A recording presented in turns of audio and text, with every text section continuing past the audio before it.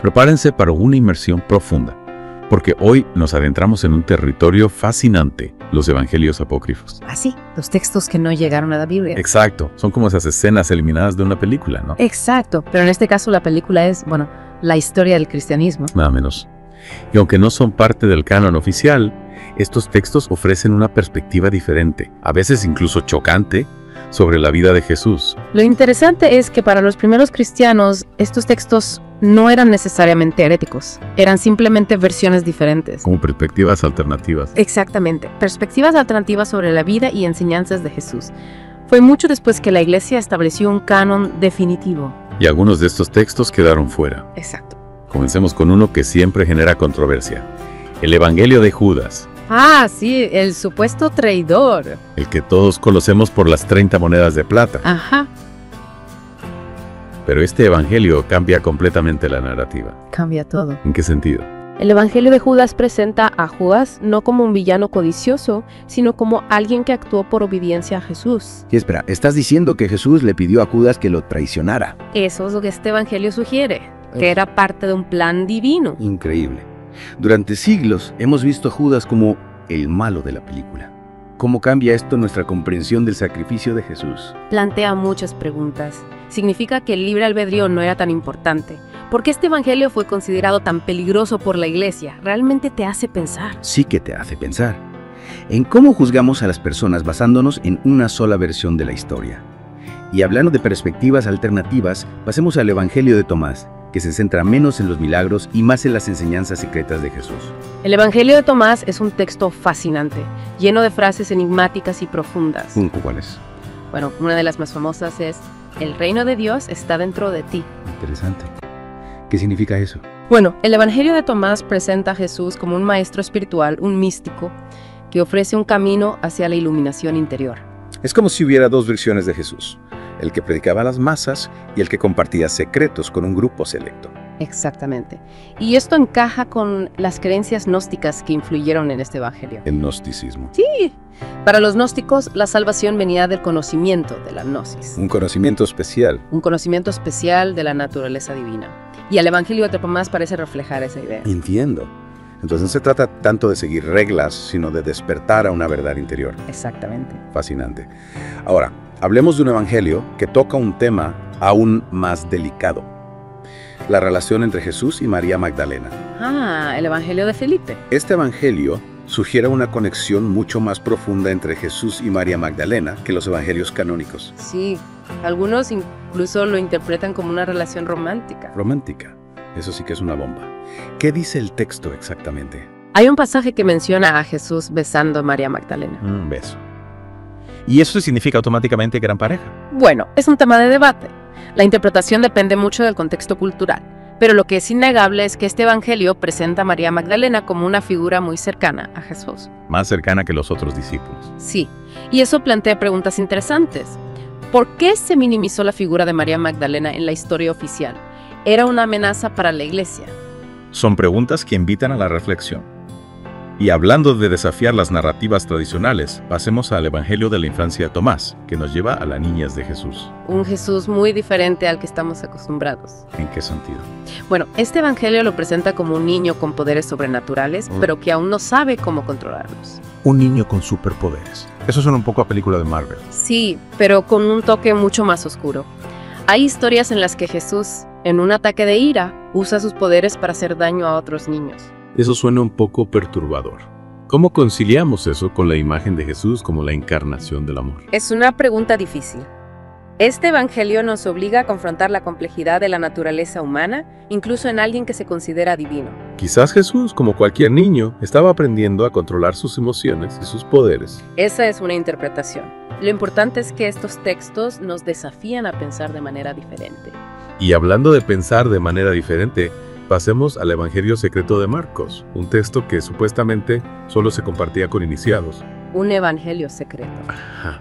¿De qué se trata? Bueno, es una versión extendida del Evangelio de Marcos con enseñanzas secretas. Enseñanzas secretas. Suena intrigante. Una de las historias más sorprendentes es la de Jesús resucitando a un joven y luego participando en un ritual secreto con él. Espera, un ritual secreto. ¿Qué clase de ritual? El texto es muy críptico, hay muchas interpretaciones. Pero ¿qué significa esto para nuestra comprensión de Jesús? Sugiere que quizás hubo un lado más esotérico en las enseñanzas de Jesús, algo que no se compartía con todos. Es una idea fascinante. Un Jesús con secretos. Y esto nos lleva a una pregunta fundamental. ¿Cuánto sabemos realmente sobre la historia del cristianismo y cuántas voces han sido silenciadas a lo largo del tiempo? Son preguntas que invitan a la reflexión. Y hablando de reflexionar, pasemos a otro evangelio que nos ofrece una visión única de la infancia de Jesús. El Evangelio de la Infancia de Tomás. Este evangelio presenta a un Jesús muy diferente al que estamos acostumbrados a ver. En lugar del niño dulce e inocente, nos encontramos con un niño con poderes sobrenaturales pero que aún no sabe controlarlos. Un niño con superpoderes. Eso suena un poco a película de ciencia ficción. Sí, pero con un toque mucho más oscuro. Hay historias en las que Jesús, en un momento de ira, utiliza sus poderes para causar daño a otros niños. Eso suena un poco perturbador. ¿Cómo podemos conciliar esta imagen de Jesús con la imagen tradicional que tenemos de Él como la encarnación del amor? Es una pregunta compleja. Quizás este Evangelio nos está mostrando que Jesús, como cualquier niño, estaba aprendiendo a controlar sus emociones y sus poderes. Es interesante pensar en Jesús como un niño que está en proceso de desarrollo, que está aprendiendo a manejar sus habilidades. Exactamente. Y esto nos lleva a reflexionar sobre la naturaleza de lo divino y lo humano. Y cómo estas dos naturalezas pueden coexistir incluso en momentos de conflicto. Precisamente. Bueno, creo que hasta ahora hemos cubierto mucho terreno. Hemos visto cómo estos evangelios apócrifos nos ofrecen una visión diferente del cristianismo primitivo. Una visión que a veces es sorprendente, a veces desafiante, pero siempre fascinante. Y en la próxima parte de nuestra inmersión profunda, continuaremos explorando estos textos y descubriendo aún más secretos ocultos. Hay mucho más por descubrir. Retomamos nuestra inmersión, listos para adentrarnos en el Evangelio secreto de Marcos. Sí, este es el que suena a novela de misterio. Un evangelio rodeado de controversia desde su descubrimiento. Cuéntame, ¿de dónde sale este evangelio secreto? A ver, en los años 50, un académico, Morton Smith, descubrió una carta en un monasterio. Una carta. Sí, atribuida a Clemente de Alejandría. Y mencionaba una versión más larga del Evangelio de Marcos. Con enseñanzas secretas, ¿no? Exacto. Smith logró fotografiar el texto, pero el original desapareció. Como si fuera poco el misterio, ¿verdad? Ajá. Pero bueno, ¿qué dice este evangelio secreto de Marcos? ¿Qué lo hace tan especial? Bueno, tiene una historia que no está en el Marcos canónico. ¿Qué historia? Trata sobre la resurrección de un joven. Y, Jesús pasa la noche con él y realizan un ritual secreto. espera, un ritual secreto.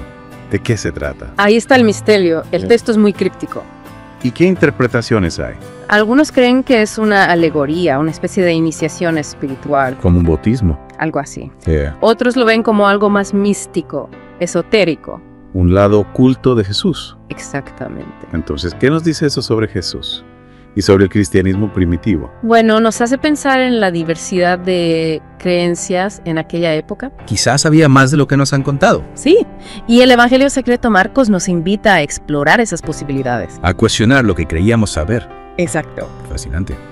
Y hablando de cuestionar lo que sabemos, pasemos al Evangelio de la infancia de Tomás, que nos muestra un Jesús muy diferente al que estamos acostumbrados, Un Jesús niño con poderes extraordinarios. pero que aún no controla. Exactamente. En ese Evangelio vemos a un Jesús que a veces usa sus poderes de forma impulsiva, incluso dañina. Dañina. Sí. Hay historias en las que, por ejemplo, maldice a otros niños. Eso suena un poco fuerte, ¿no? Es un texto que nos desafía.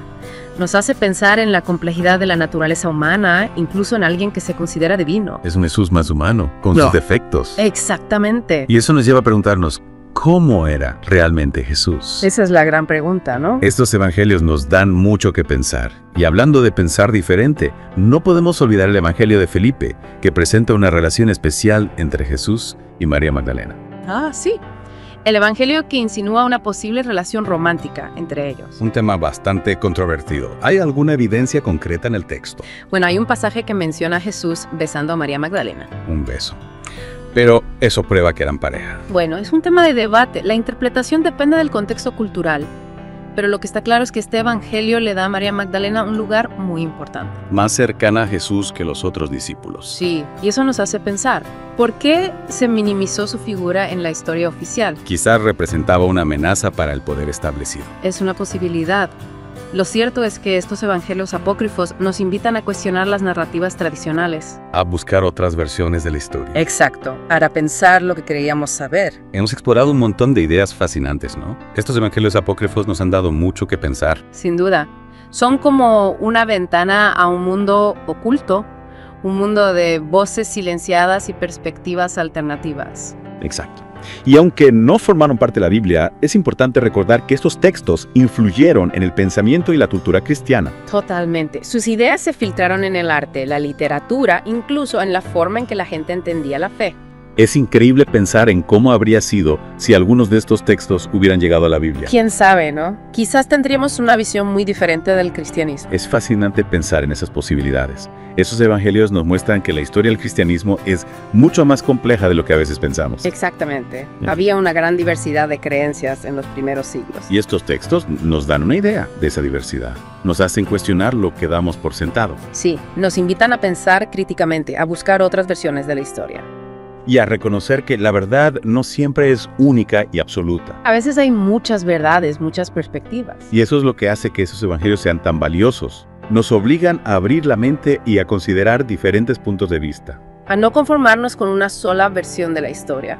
Exacto, porque siempre hay más por descubrir. Siempre. Bueno, creo que hemos llegado al final de nuestra inmersión profunda. Ha sido un viaje fascinante. Sin duda.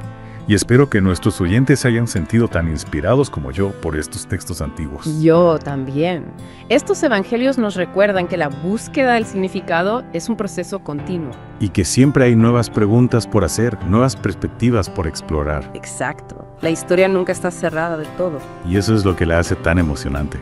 Así que a nuestros oyentes les animo a que sigan explorando, a que sigan cuestionando y a que nunca dejen de buscar la verdad. Es un buen consejo. Gracias por acompañarnos en esta inmersión profunda. Hasta la próxima.